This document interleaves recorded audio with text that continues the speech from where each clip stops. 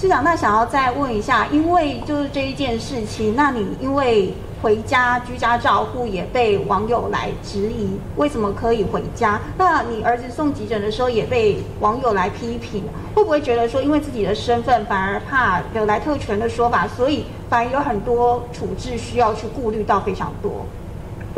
那这个本来就啊，这个是台湾社会就是这样嘛，没办法。有时候我们就是怎么讲，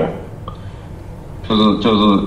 有时候就就是应付社会的标准嘛，比较不方便的。就是说有时候有时候这反正就是